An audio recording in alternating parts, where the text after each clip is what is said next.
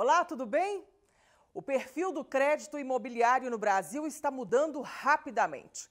A Caixa Econômica Federal anunciou o aumento de 30 para 35 anos o prazo de financiamento habitacional e o Banco Santander também já fez o mesmo. E dá-lhe mais redução de juros. Na Caixa, para imóveis financiados pelo Sistema Financeiro da Habitação, as taxas caem de 9% para 8,85% ao ano, para todos os clientes percentual pode chegar ainda a 7,8% ao ano, de acordo com a relação que o cliente tem com o banco. E para várias outras modalidades de crédito imobiliário, como imóveis comerciais, construção e imóveis acima de 500 mil reais, a Caixa também abaixou os juros. É o governo fazendo mais pressão para abaixar os juros.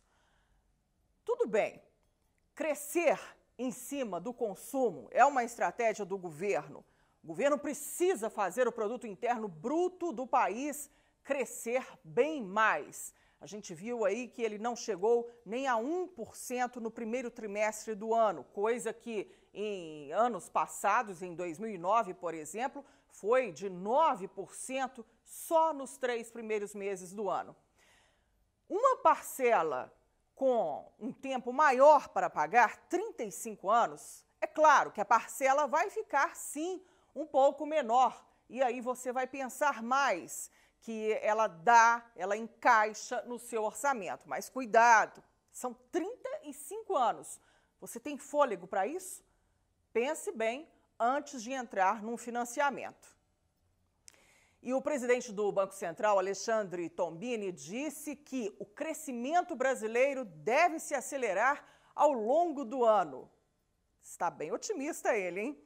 Esse crescimento deve se acelerar sustentado pelo consumo dos brasileiros e corte de juros da taxa básica, a Selic. Mas aí tem que abaixar ainda mais os juros nos financiamentos, hein, presidente do Banco Central? Tombini fez essas afirmações durante reunião da Comissão Mista do Orçamento do Congresso Nacional. O presidente do Banco Central disse que todo mundo, de certa forma, já ouviu em algum momento desse governo. Que o país apresenta sólidos fundamentos macroeconômicos com robustos colchões de reserva em moeda estrangeira e que o governo avança na agenda de reforma. Avança mesmo? Reformas política, tributária e fiscal, elas estão acontecendo?